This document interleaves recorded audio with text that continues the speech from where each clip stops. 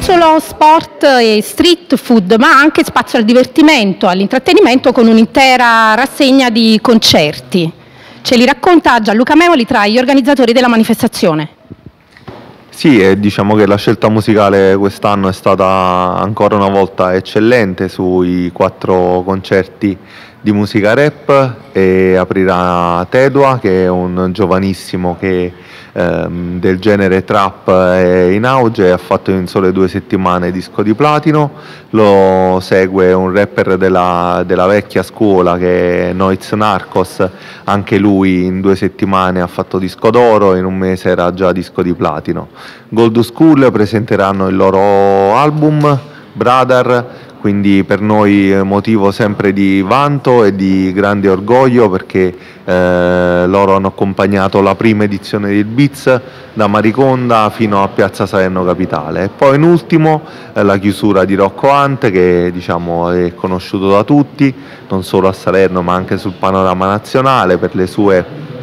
eh, per i suoi già tre album eh, incisi, è prossimo al quarto e ci ha detto che ci delizierà con qualche inedito del nuovo album, quindi davvero una quattro giorni, seppur in maniera ristretta rispetto all'anno scorso, abbiamo cercato comunque di dare la stessa intensità e la stessa capacità di, di accoglienza eh, per i grandi visitatori, quindi diamo appuntamento dal 12 luglio in Piazza Salerno Capitale.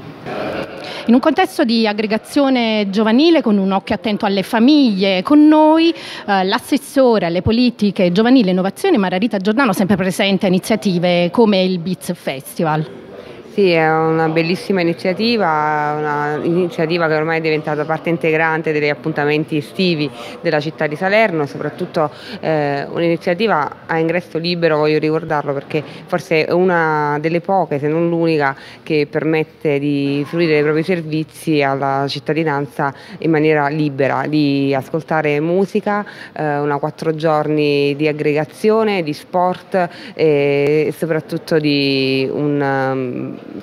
un divertimento puro e, e semplice. Con noi Flavio Donatantonio, presidente dell'associazione Beats Onlus, eh, manifestazione giunta alla sesta edizione. Cosa rappresenta sul territorio questa manifestazione e come nasce soprattutto?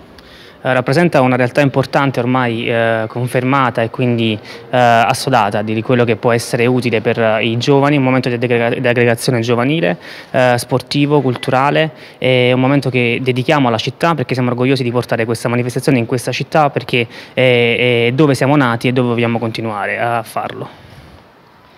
Ci può svelare qualche novità di quest'anno?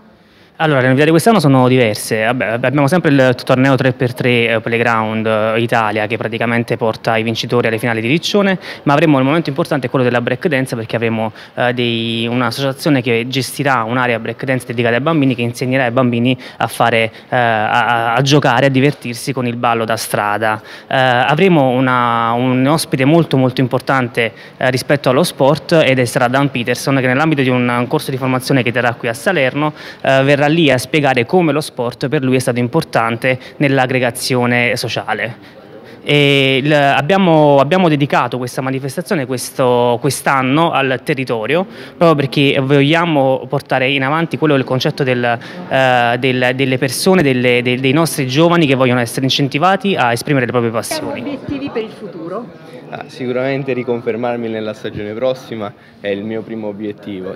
lavorare su quelle che sono ancora le mie lacune data la giovane età e, e sicuramente aspirare a Tokyo 2020 che è un obiettivo fondamentale. E